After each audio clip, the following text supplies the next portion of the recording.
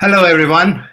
Welcome to the machine learning course through SIGGRAPH Frontiers program.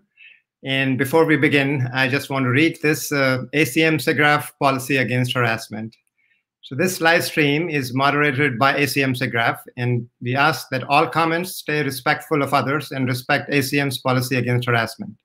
This means uh, please exercise consideration and respect in your speech and actions, refrain from demeaning, discriminatory or harassing behavior in speech, and be mindful of your fellow participants. That said, let's uh, begin. So I am Rajesh Sharma. Um, I work at the Walt Disney Animation Studios, and I'll be teaching this course. And for this particular course, uh, I hope you can see my slides. There you go. So this is uh, class one, and um, this course itself is made possible by ACM SIGGRAPH. And there are a number of people I would like to thank in the beginning. Pol Jeremias-Vila, the SIGGRAPH 21 chair, uh, Thomas Bernards, who is the Frontiers program chair, who's organizing all of this that you see here today, Alex Bryant, the student volunteers chair, Tim Hendrickson, digital marketing manager, and a number of student volunteers who have agreed to help us out here, uh, moderating the comments and answering your questions and funneling the questions and comments to me as well. So thank you to all of them, and uh, let's uh, begin. So the machine learning class one, um, today we are going to cover uh, a bunch of topics, uh, just um, a general introduction. And we have with us um, a guest, Francois Chollet, who works at Google, and uh, we'll talk to him about uh, some of the many things that he has done and get some advice from him on how to approach machine learning and um, what kinds of things to look out for, what tools to use, and lots of other things that um, um, we will talk about. And then we'll go into covering what machine learning is, what neural networks are, how do you actually solve a neural network, and a general introduction to just what autoencoders are and what a convolutional neural network is. So uh, it's going to be a general introduction today just to get you uh, familiar with the terms and uh, names of these things. And then um, throughout the course, we will cover a bunch of these things. So right now, when you read these things, they probably don't make any sense to you. But by the end of this course, um, we all should have a good understanding of what these are. We'll use many of these things and you should be able to uh, actually utilize in your own projects um, and then be able to explain to others what all these things are. So just uh, before we begin, uh, housekeeping, uh, all the materials that I am presenting today, they are available in a Google Drive. The shortcut to that is uh, available here as a link and also as a QR code. So you can go to that drive and bring up this slide if you want to. Uh, and there are also a couple of um, Python Colab notebooks that uh, you have access to there.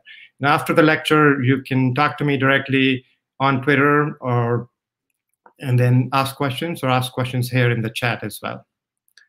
So housekeeping out of the way, let's um, give a big welcome to Francois, who is joining us today from Google.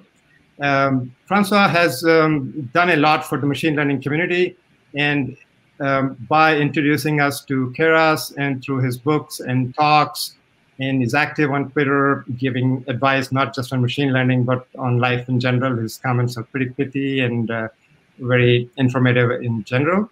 Uh, but uh, for me, it, has been uh, a joy to use Keras uh, within TensorFlow initially as version one extension, and then when it became part of TensorFlow full.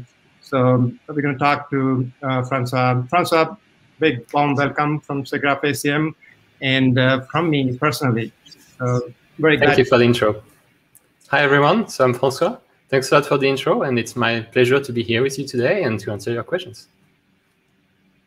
So um, let's uh, let's uh, dive right into it. So I just wanted to find out more about like what your journey has been. Uh, how did you start and uh, get into the field? Um, and anything else you want to talk about um, about your journey. Yeah, sure. So my journey into AI. So initially, um, as a student, I had uh, lots of different interests, and I had kind of like this philosophical interest in you know uh, uh, the mind, the nature of consciousness, all these uh, uh, fairly uh, fuzzy and abstract things. And so I took a look at neuroscience initially, because you know that's that's the logical field to look at if you're interested in the mind. And I was kind of disappointed by um, what I found. I mean, it's it's a, it's a super fascinating, super interesting field, but it doesn't really have like answers about what is the mind, what is consciousness, and so on. And this kind of led me. Uh, I also had an interest in programming, so this kind of led me into uh, AI, right? Which uh, at the time, you know, AI was was not really it wasn't really deep learning. It was it was mostly uh, things like you know GMs, uh, the STA algorithm, like all, all these different things. So it was very much you know uh, computer science, a subfield of computer science. So I graduated with a major in computer science and a minor in, in robotics. And uh, so eventually I kind of ended up doing uh, a little bit of research as a student in cognitive developmental robotics, uh, which was kind of like the subfield of AI that was the most interesting to me, which is uh, uh, basically about using um, simulations and robots to try to model the early stages of human cognitive development. So at the time, it was like the subfield uh, of AI that was the closest I felt uh, to, to trying to understand the human mind and trying to model the human mind in software. And from there, you know, I kind of followed the gradient of demand. Uh, so I went into more practical applications like recommender systems and so on. And I ended up working in the industry. And around that time, deep learning was taking off. So I, I you know, basically started doing uh, increasingly more deep learning and then started working on Keras eventually. Wow, that's a fantastic um, journey. So um, let me ask you about uh, Keras in particular. Like um, for me, um, when I first started using TensorFlow, it was like super hard for me to kind of switch into this data-centric model of how to use things. And my mental representation of what layers were, they wouldn't map properly to TensorFlow. But uh, when I was introduced to Keras, like this totally made sense because my mental model of what layers are, how they combine together, that fit perfectly well with Keras, and I fell in love with like using the tools. Um, so can you describe like how you came about like um, coming up with that idea and uh, how you implemented that? Sure, I'm, I'm glad you find it useful. Uh, in terms of you know how Keras came about. So first of all, I think you, you're making a great point about mental models. Uh, I, I, think you know um, a great API is an API that just reflects, that matches the mental models of practitioners in the field. It's a language that enables you to express how you think about problems, and it has to be, it has to speak your your, your language. So the API is all about how you think about it. It's not about how it's implemented under the hood. And that was probably you know kind of a flaw of uh, the early days of TensorFlow that it was very much, uh, it kind of forced you to learn about computation graphs and basically the, the, the low-level implementation details of, uh, of uh, how TensorFlow works, and not so much, it wasn't really a language to talk about deep learning the way practitioners and researchers want to talk about deep learning. Uh, in terms of how it came about, so uh, Keras actually predates uh, TensorFlow. Like not, not too many people remember that, but Initially, it was built on top of uh, a different framework, which was called uh, Theano. Theano was like the original OG uh, symbolic computation graph framework, which was developed uh, by uh, the Mila Lab, uh, the University of Montreal. and it was really a, a visionary framework. Um, so inspired probably by, by NumPy Autograd originally. it, it's really, you know, laid the foundations for all the big ideas um, that will eventually become TensorFlow. TensorFlow is in uh, in uh, many ways kind of like the successor uh, to Theano, uh, much more than the, the successor to NumPy Autograd. Um, yeah, and I was basically just building Keras um, as a personal project because I wanted something like that. Um, so back then, which was early uh, 2015, there weren't too many uh, deep learning frameworks available. If you are doing computer vision, the, the obvious choice would have been Caffe, which was very popular. It was the most popular deep learning framework at the time. Um, and it was so C++ based, and it was really into this mindset that a model is a, a static configuration file, uh, a YAML file. So you write a new model by defining a YAML file. If you have to do anything uh, outside of the scope of what you can describe in your YAML file, then you have to write your own C++ code. Uh, that was Caffe at the time. So I didn't really like it. Uh, there was also uh, Torch 7 that was available at the time that I used as well. So Torch 7 had a much, much more you know, modular approach, uh, which I thought was interesting, but it was also very, uh, very buggy, and it was written in Lua. So if you wanted to, to use it, you had to use Lua, which I thought was not a great choice because it lacked the very extensive ecosystem that Python had. Like if you needed to write files uh, or read files uh, in a new data format, like you know HDF5, then you had to write your own parser in Lua because there was no library for it. Because Lua, you know, really didn't have the sort of data science ecosystem that Python already had at the time. So it was like, you know, we need something that's uh, uh, that, uh, that, enables you to define models as code as opposed to models as a configuration file, which was what every framework was doing at the time. Like um, there was also another one called uh, uh, Pylearn, I think, which was also not not Pylearn. Right. Well, th there were there were a few, but they were all like you know in this mindset that your model is a configuration file. So I was like, you know, actually the model should be code, and then it should be in Python. Mm. And there wasn't really uh, uh, uh, too many frameworks like that at the time. And I was also doing uh, natural language processing back then, so I was interested in uh, recurrent neural networks, LSTM in particular. And there was like no open source reusable implementation of LSTM available. So Keras was like the first framework that brought all these different ideas together and that made available, you know, a, a nice and reusable LSTM at the time. And then, uh, uh, so I put it on GitHub, it started getting traction. So I just kept, you know, hacking on it uh, for the next few years. And it just basically kept getting traction. And eventually it got merged into TensorFlow at Google. That's that's a great peek into the history of it. Um, do you want to talk a little bit about your book? Um, I hear you have a new edition uh, coming up. Or absolutely, I'm currently wrapping up uh, the the second edition. It's been uh, a lot of work. It's been a lot more work than uh, I anticipated. Um, yeah, so I wrote uh, uh, the first edition in 2016, 2017, and um, you know it was badly in need of an update because the field has changed a lot in the past few years, and uh, the Keras and TensorFlow APIs have also changed a lot. So uh, spent the past uh, couple of years kind of like writing the updated edition since the release of TensorFlow 2. Before that, I was really working on, on the release of TensorFlow 2, so that was very much a full-time job. Um, and uh, yeah, so the draft uh, of the second edition is finished. So I'm just basically polishing it now. Uh, it's going to be released on the publisher's website pretty soon. And after that, uh, the book will go into production and it will be available. Uh, basically, you can uh, actually read it in a, a paper format, uh, probably you know by the end of this summer, maybe uh, early fall. Mm-hmm. Oh, that's great. Actually, I'm looking forward to it. Um, you, you mentioned the field is changing pretty quickly. So what uh, advice would you have for um, people listening to you right now? Like, um, what kinds of things they could focus on or learn from?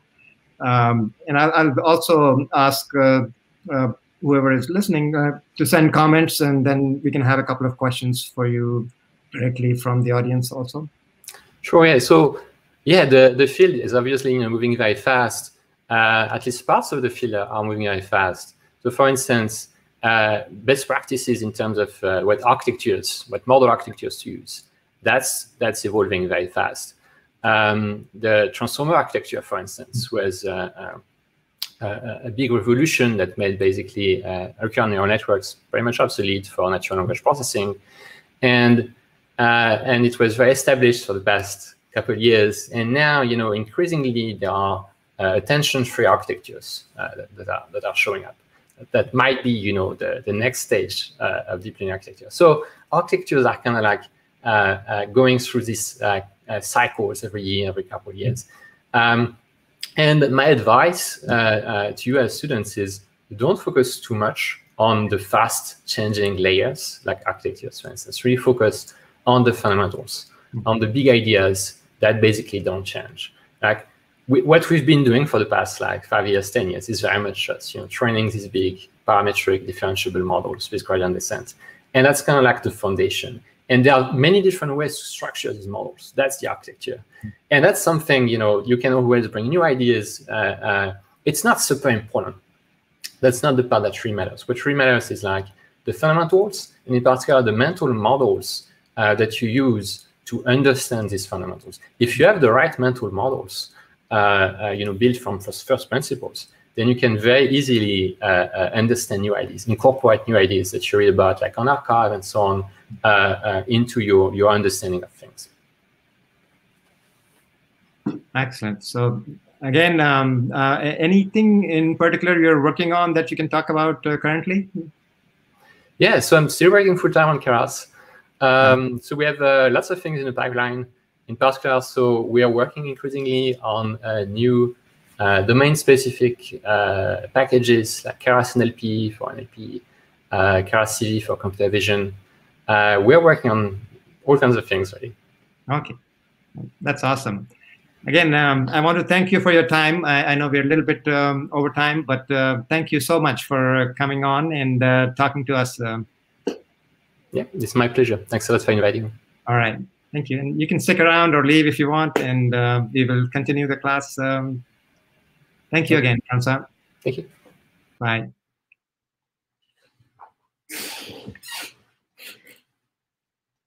All right, so that was uh, Francois. Uh, it was great to hear from him. Um, uh, and as he said, the field is changing pretty rapidly. Um, but the fundamentals remain the same. And what we want to focus on are the mental models of how things are and go back to the first principles a bit. And that's what we'll be doing um, most of this course is trying to give you an understanding of what these um, neural networks are, um, what the mental models um, are for those, and what distributions are, and how we are trying to basically predict a sample from uh, a distribution. So to give you the big picture, of um, uh, what AI and machine learning is. And this is um, borrowed from um, uh, a, a, good book uh, on deep learning um, by Ian Goodfellow and Yoshua Bengio.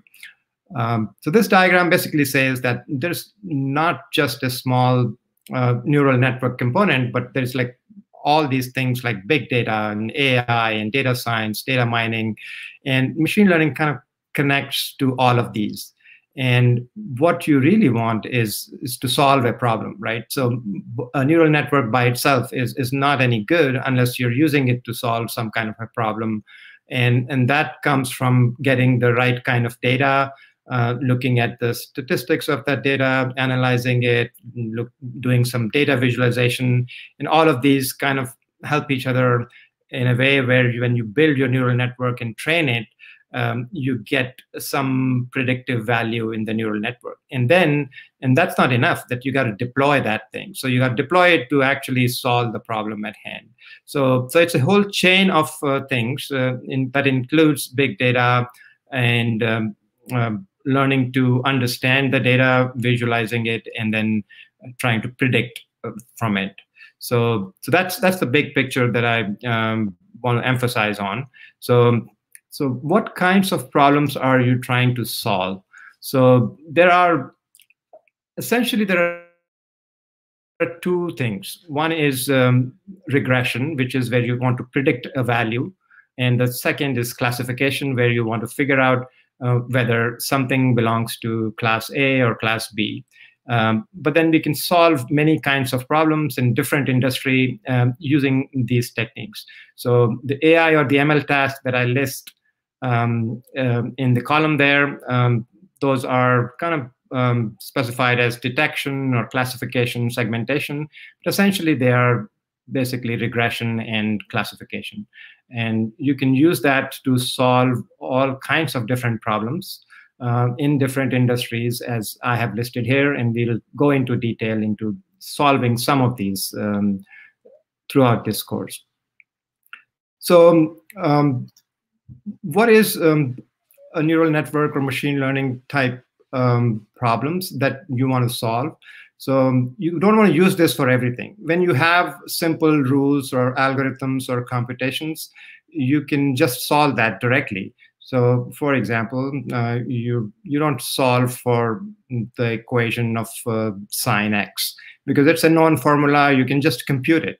Uh, you don't need machine learning to do that. So, um, you the problems that you want to use machine learning for, um, they are problems that, that are not easy to solve using some if else clause or some rule based solutions, or the model is too complex or has too many factors.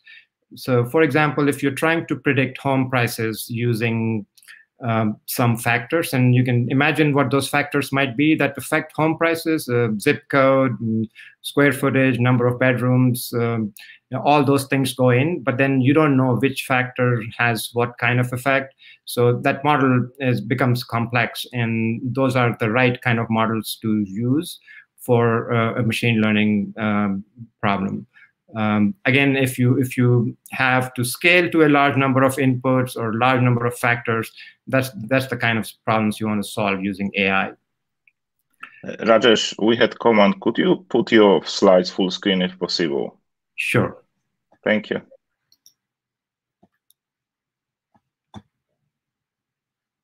There. Is that better?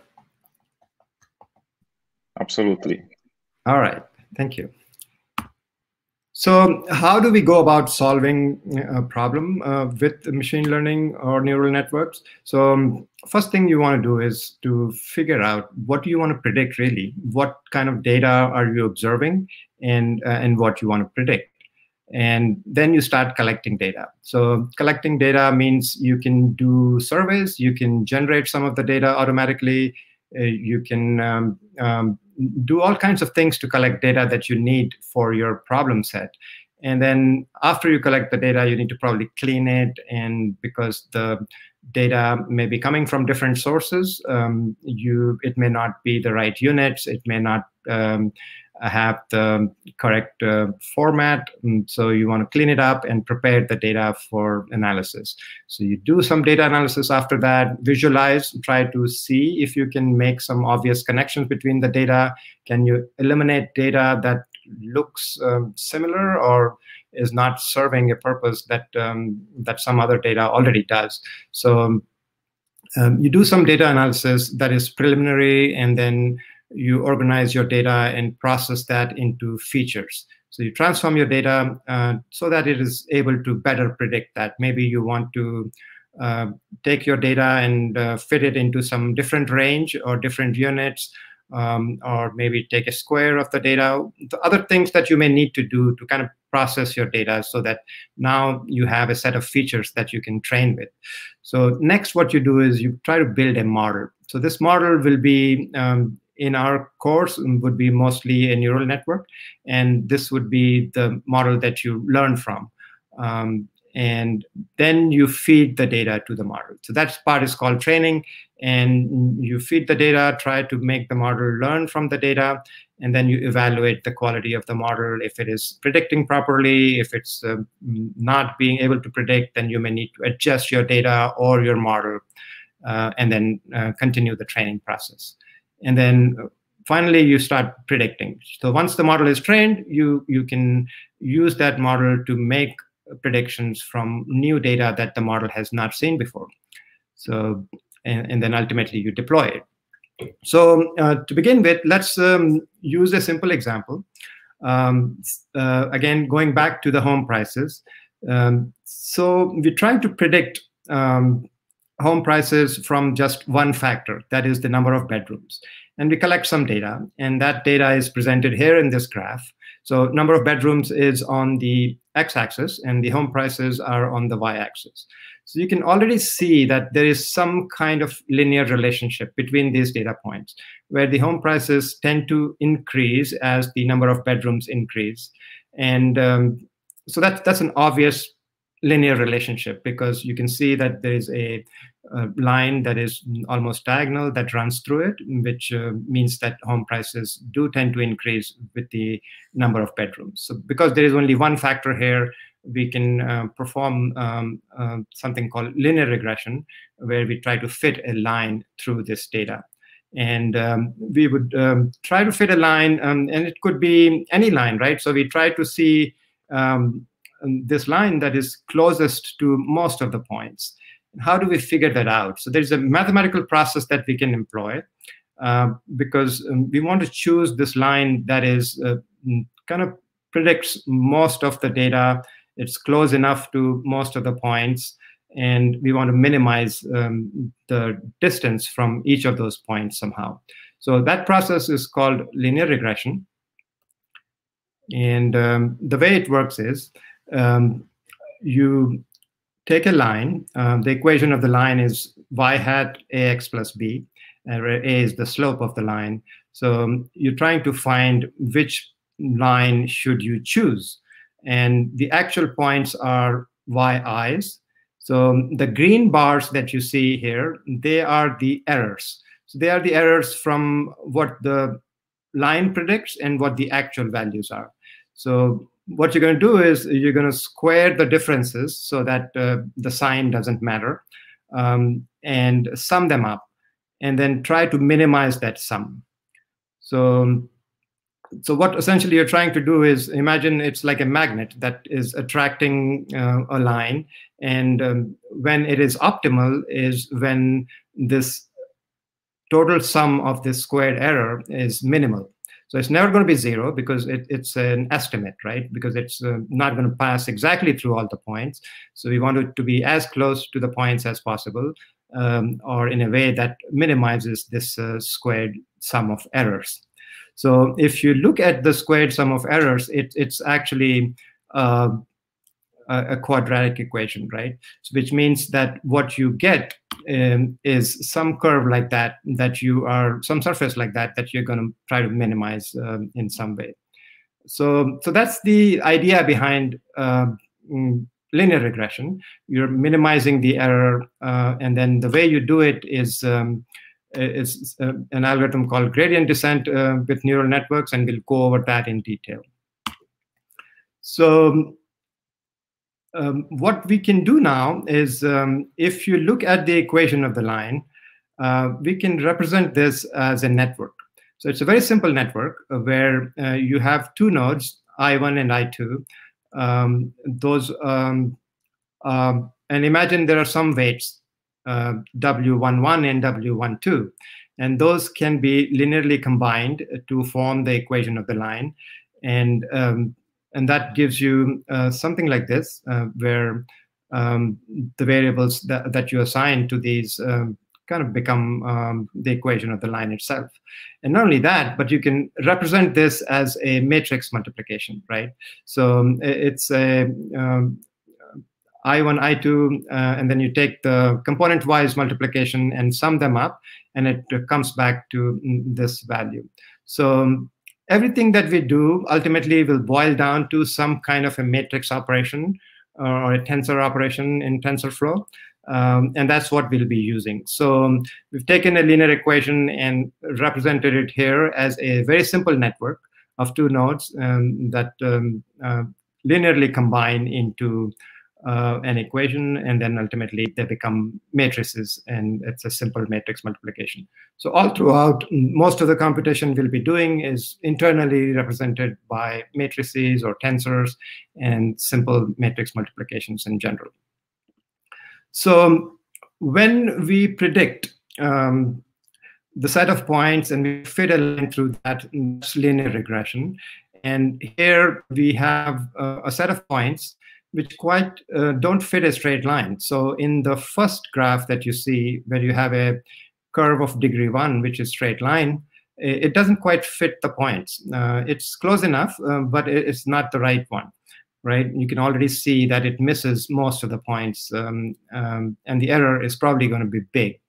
Um, there is um, a degree two curve, which um, is much better. It um, it fits most of the points pretty well. Um, and on the right side is a degree 20 curve, which uh, you may think that is um, very good because it fits most of the points almost exactly. But that is something that we tend to avoid. Uh, we don't want to learn the actual points. We want to have predictive value. So um, um in general, um, exact fitting of the data is not preferred because what happens is the neural networks then tend to memorize the data and they lose the predictive value. So in general, we would prefer something like a degree two curve for this particular set of data, and um, and that's what we'll be doing. So, so when you have overfitting, like the diagram uh, on the right, um, you, you don't want that. So the way we do move from linear regression to um, something that um, is a higher order curve, we introduce some non-linearity. So this non-linearity is um, introduced by something called an activation function. And um, usually these um, are simple functions because they're used so much that you want them to be as fast as possible to compute. So uh, here I'm showing you uh, two um, of such activation function. One is called sigmoid, uh, which has an equation uh, like so, and it's a S-form curve. And a faster version, uh, something called rectified linear unit, um, which is very fast to compute because all it does is uh, max. And then by introducing this nonlinearity, we are able to do not just linear straight lines, but uh, any curve really. So, um, uh, so this is, you'll see that uh, again and again, an activation function added in to every node uh, to introduce nonlinearity.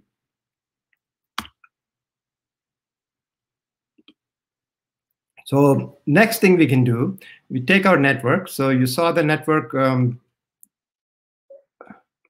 that was simple like that. And then we're going to go ahead and um, add um, more complexity to it by adding more layers. So this is uh, basically the same network we had before, except now we've added a hidden layer uh, which introduces more weights and more activation functions. So you can imagine this um, big um, network of um, linear combinations of weights um, and inputs that are going to be um, computed and then output um, uh, as values.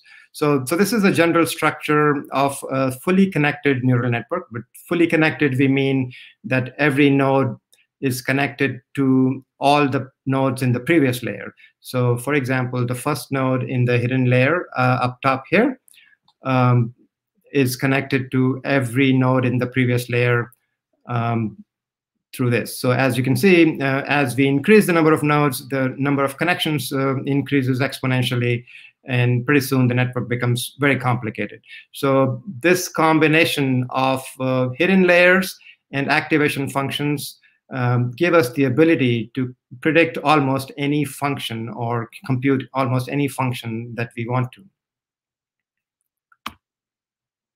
So, so this is very similar. The structure is very similar to how um, a biological neuron behaves as well. So you get these inputs um, uh, and then uh, which are basically um, your data that is coming in, and then you have some activation function in between, and then you get some output. So this is the basic structure of a biological neuron from which um, we have adapted uh, an artificial neuron that we call it artificial neuron, um, what we use. Okay, so um, when I said like um, a simple network that was fully connected, um, is actually all you need. So that is enough to solve any function. So it will approximate um, almost any function on a compact subset of, um, uh, of real numbers. Um, and this is a complicated theorem, um, which is kind of beyond the level of uh, my math um, to even explain. Um, but, but, you can uh, trust that when I say that, that a simple network like the one I showed you is capable of solving any equation or any continuous function. And what that means is that um, um, that's all we need. So if we have enough data and um, if um, our network is dense enough, we can pretty much compute anything we want. Um, but the downside of that is that you need a lot of data. And then as you saw, the connections of a fully connected network, they grow exponentially. So the larger network you have, the more memory you would need, uh, and more computing power you'll need. So um, most of the stuff that we'll be talking about, they are basically ways to avoid a fully connected network um, to make sure that we can compute things um, um in the resources that we have uh, in terms of computing and memory. Uh, and then there are special cases for images um, where CNN or a convolution makes things um, faster. and we'll go over those as well. So having said that, we can solve any mm, um, mathematical function. There is also something called a no free lunch theorem, which says that if um, if a neural network um, can solve, so it, this is an optimization of a network, right? So if the if we can solve a narrow problem uh, pretty well, then it's going to not perform as well on other problems. So which means that we cannot have a generalized solution for all problems using a single network. So each network is special. It will solve a narrow problem and uh, it will do it very well. And that's our goal is to make it do as well as it can on that narrow set of problems. So, so these are the kind of um, mathematical theorems proven, um, and, and we can um, assume they hold correct, and they do. Um, and we're not going to go into the proofs of these. They get complicated in mathematics, and it's not necessary for this particular course. So now we get to um, the practical aspects of things, like how do we actually solve this network, right? So, um, so what we will do is we'll set the weights of the network uh, randomly initially, and then um, we'll make a forward pass through the network. So imagine the forward pass basically means you take the weights, you take the input, multiply them at each node, and then apply the activation function, and then go on to the next node, do the same thing. So at each um, pass and at each node, you are going to take the input, multiply it by weights, and um, and then apply the activation function and so on, uh, keep moving forward. So that's a full forward pass through the network. And then um, when you get the output, you compare it with the expected results. So um, it's um, when you are training, you you need to have some kind of a, a ground truth for each of the inputs, where um, you compare the output to this expected result. So they won't match initially. So there'll be a difference, and that is your loss. And um, then what you want to do is you want to adjust the weight slightly based on that. So you adjust your weight slightly. And this process is usually done via something called gradient descent and back propagation in a neural network. And we'll go over that in detail how we do that. And once you change the weights by a small amount, you repeat the process. So um, you keep doing this, uh, more data, compute, uh, repeat, um, fix the weights a little bit, and then keep repeating the process um, until the error starts reducing. So um, through this feedback loop, um, the error will start reducing. Um, hopefully, if your parameters are correct and your data is varied enough, you will start getting a model that is stabilized and then training is complete and the error is minimal. So once you have that, then you can start um, predicting from this. So once you have that fixed, then you can start putting in new values which the network has not seen, and you can make predictions from the network. So that's part of the process of solving a network. And um, as we get into that, there are some terms I want to introduce. And um, again, the process remains the same.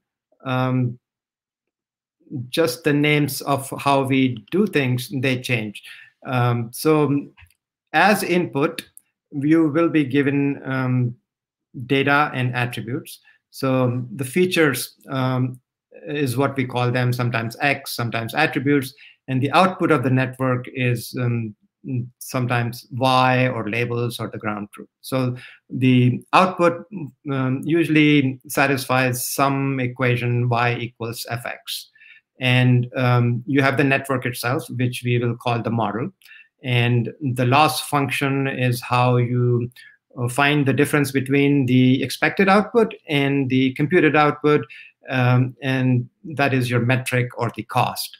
And activation function we already covered. It adds nonlinearity to this. And some examples of this are sigmoid and um, and rectified linear unit. And you'll hear more about the different kinds of activation functions, but these are the two mm, most used, and we'll use those.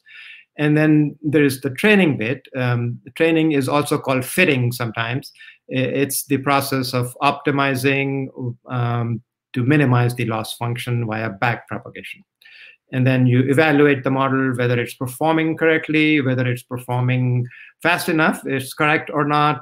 And then um, and then there's um, the prediction that you do on the new data, uh, which is also called inferencing. Um, and um, you'll hear these terms again and again, and these are kind of like the part of um, the toolkits that we use um, or uh, different papers that you read. So get familiar with these terms uh, that are underlined and you'll hear them again and again. They're basically, um, again, the process is simpler, um, and, but there are terms that uh, are part of the vocabulary of the field.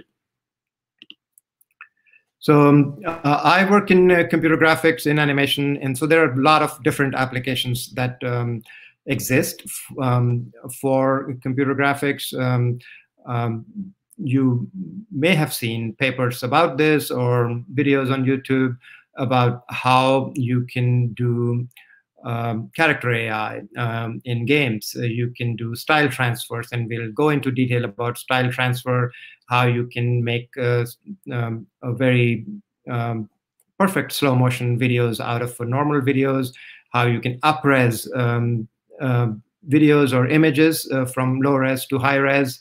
You can remove noise from images. You can try to understand via text processing a sentiment of a review or a story. Um, you can do most of the computations from that go from rough to fine. You can use probably machine learning to to do those kinds of things. You would have seen um, um, um on iPhones, you can use this um, face tracking and uh, emojis that kind of track your face uh, and expressions. And then uh, using GANs, we can use um, GANs for image generation of different kinds, and we'll go into that detail as well. There are multiple applications in the computer graphics area, and not to mention several other areas of medicine, um, and finance um, in pretty much any field that you can see today machine learning uh, um, can help um, make the results better or find new applications that we haven't seen before so um, we'll take a little bit of a pause and uh, I can take some questions and just want to get the pulse of like how things are going. If uh, people are uh, with me so far and um, um, we have about 15 more minutes left, and I'll cover some hands-on programming because I want to get you using the tools as well as um, um, trying to get your hands dirty a little bit. So if you have any questions, um, if I'm going too fast or too slow, uh, let me know, and um, we'll fix that uh, next time or as we go along. So I'll pause for a bit, drink some water, and wait for some questions. Looks like there are no questions so far.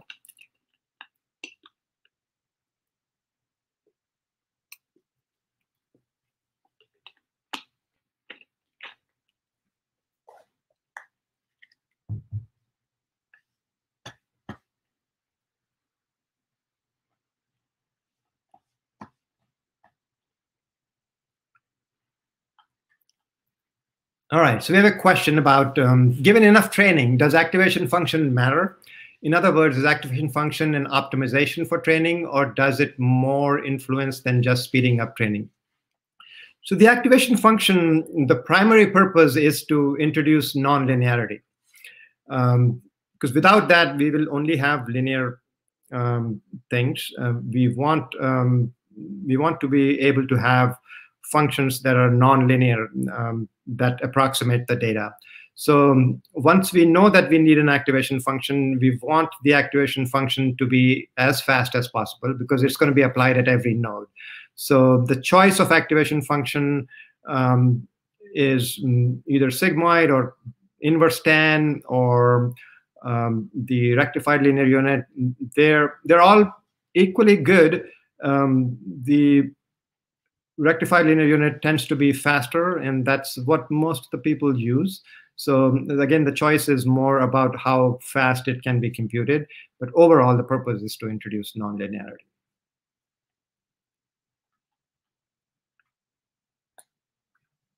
All right, so let's move on to the hands-on uh, part of the class. Um, so we will be using um, this Python virtual environment called Colab from Google. And Colab is a Jupyter-derived Python IDE, um, and it has TensorFlow support built in. And there are a bunch of other tools we'll be using that will help us uh, to plot and look at data. Um, again, um, these are standard packages that most of the machine learning community uses. Um, TensorFlow is something that I'm familiar with. Um, you can use PyTorch or other mm, frameworks that are equally good. Uh, but this is what I'll be teaching um, in the course. So if um, so I have another question about, uh, could you please elaborate a bit on the pros and cons of using Keras versus TensorFlow versus PyTorch for computer graphics purposes? So I have um, no particular recommendation um, because they all work in a similar way. Uh, Keras, I find it um, easier to use uh, than directly using TensorFlow, and Keras is uh, now a first-class citizen of TensorFlow. Uh, so the way you think of layers in convolutional neural networks in computer graphics, they map pretty well with Keras. And um, I've used a little bit of PyTorch, and, and it's the same. I think it's just a different toolkit from a different vendor, and they work pretty well. A lot of the machine learning community, um, I can see they use PyTorch or TensorFlow equally. Um, so it's not, uh, it's whatever you feel comfortable with, whatever um, mapping is easier for you um, because they're both available uh, in Python. Uh, it's more about like your comfort level with the API itself. Um, but the things that we will do, um, they, they're pretty independent of the toolkit itself. All right, so um, if you haven't already, uh, you can go ahead and open uh, the housing.ipynb Colab file. And um, if you're using this for the first time, you may need to associate a Colab app with the file to make sure that um, uh, it, it, does work. And um, what I'll do is I'll switch uh, to using a different tab. And the notebook should look something like this. And make things bigger.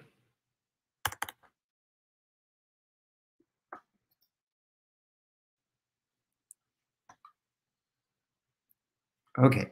So this is the notebook that you should be seeing, and um, and please make a copy of the notebook and um, in your own drive, and um, it should work pretty well.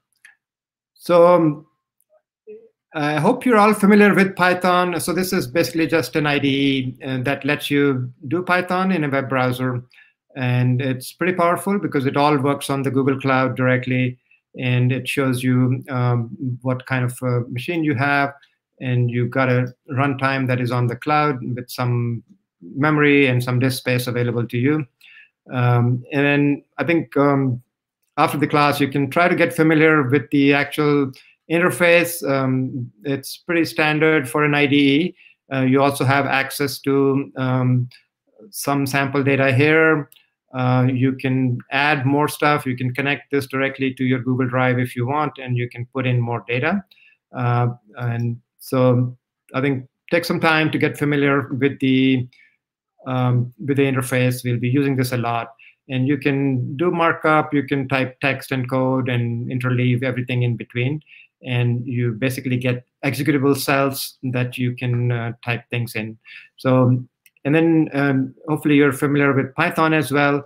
And this is how we import some of the packages that we're going to use, um, which is uh, NumPy, Pandas, Matplot, and Seaborn. So um, we're going to basically execute this uh, cell, and this part gets executed, and we'll read the data. So here we are using um, a publicly available data set for housing and um, you the way you read that with pandas um, and what you can do is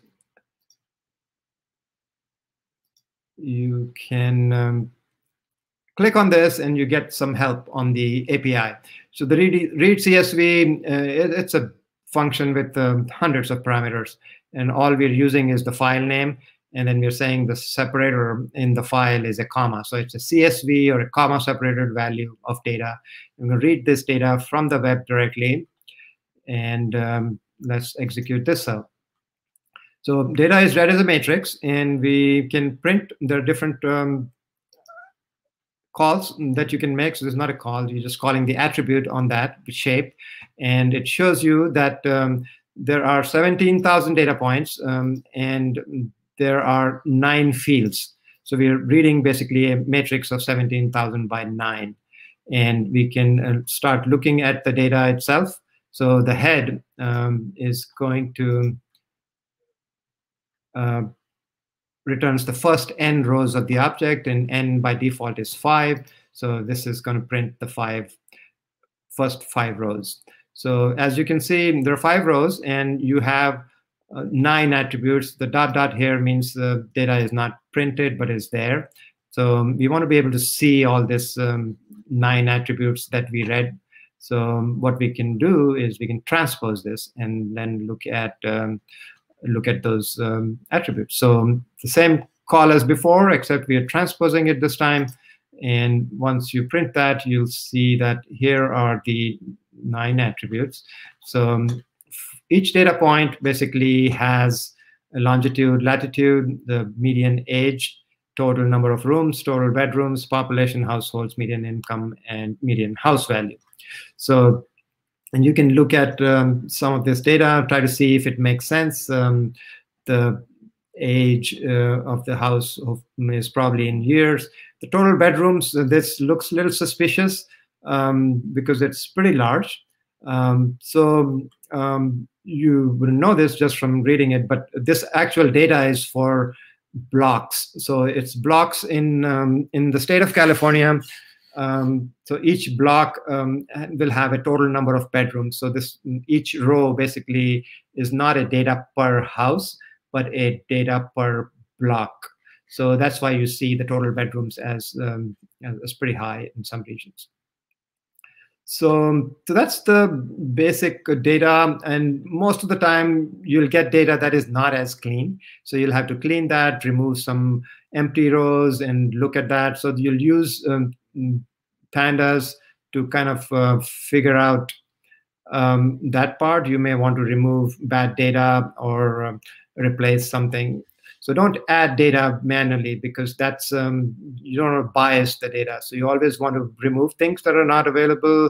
Uh, you may want to remove some outliers um, that look like obviously bad data collection or some typos or transcription errors, but you most likely don't want to add data manually uh, that you don't have. So um, we can also look at the statistics of the data. Um, as we saw, there's uh, 17,000 uh, data points, that's the mean of everything, and the standard deviation minimum, and the different percentiles and the maximum.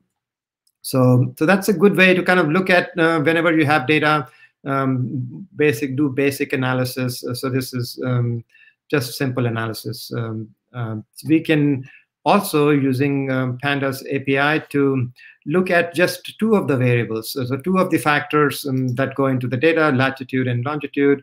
And as you can see um, we have basically a general variation of latitude and longitude. It makes sense uh, because this data is coming from california um, that these um, numbers kind of are for the region of california. So next thing we can do is we can plot and try to make more sense of the data. So for that, we're going to use something called Seaborn. Seaborn, we had imported as SNS, and we are going to do a relative plot of latitude and longitude versus the total bedroom. So the size of each dot in this graph is the um, total bedrooms, and the x-axis is the latitude, and the y-axis is longitude. So um, we plotted all this data, and uh, as you can see, uh, it maps perfectly to the map of California uh, because we are plotting latitudes and longitudes, and it should geographically map into the map of California. So you can see the density of the homes, where they are. Uh, you can see the empty regions, and you can tell um, where they might be. This is the desert area. This is the middle of California.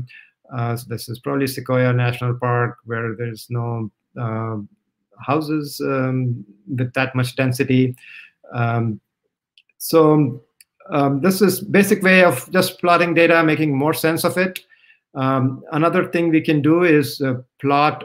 So these are just two of the variables, latitude and longitude. You may want to plot all of them against each other. So there's something called pair plot, which will take each attribute and plot it against the other and itself. So we're going to take uh, 1,000 data points and then plot them all against each other.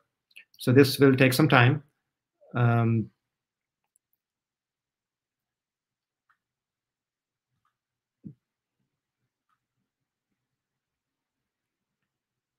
there you go. So there you have uh, basically a matrix of plots uh, with um, the parameters on the left side and the right side as well.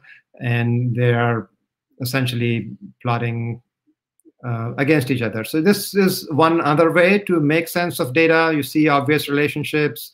Um, one thing you'll notice is on the diagonal, because uh, plotting uh, something against itself uh, uh, is not very useful. So what um, Seaborn does is it gives you the distribution of the data instead on the diagonal. So you'll see how the data is distributed.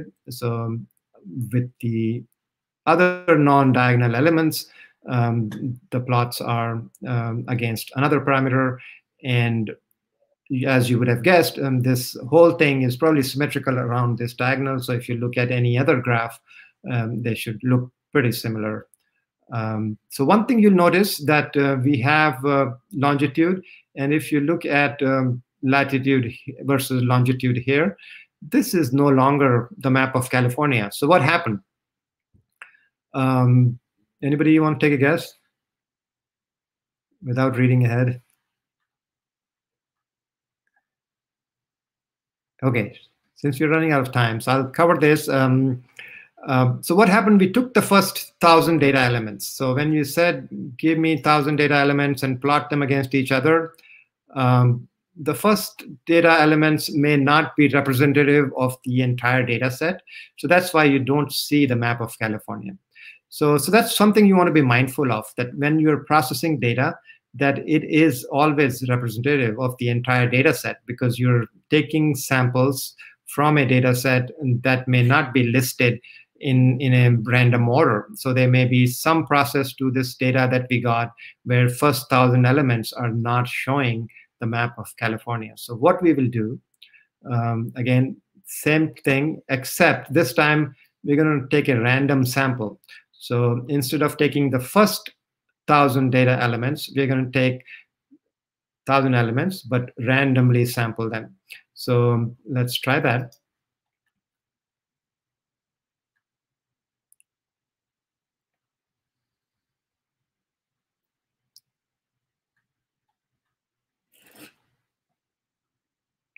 There you go. So now if you look at latitude versus longitude here, um, it is, again, a nice graph of um, map of California, uh, even with just the thousand points because we selected randomly. So it does represent the rest of the data of uh, 17,000 points.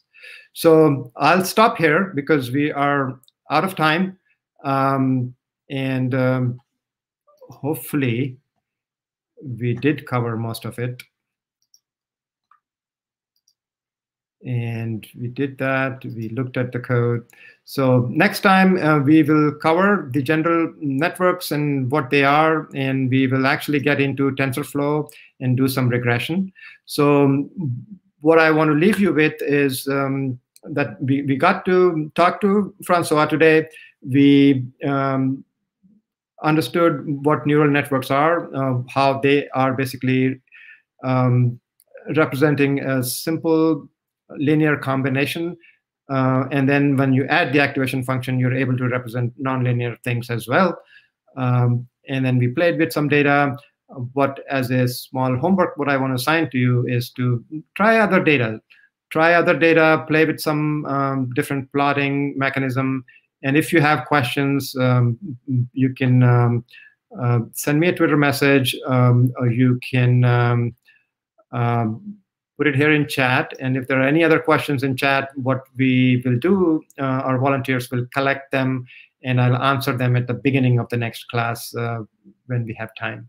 So hopefully this was a good general introduction and we'll get things um, in motion from the next class onwards and pace will pick up. Um, so I'll see you next time. Thank you.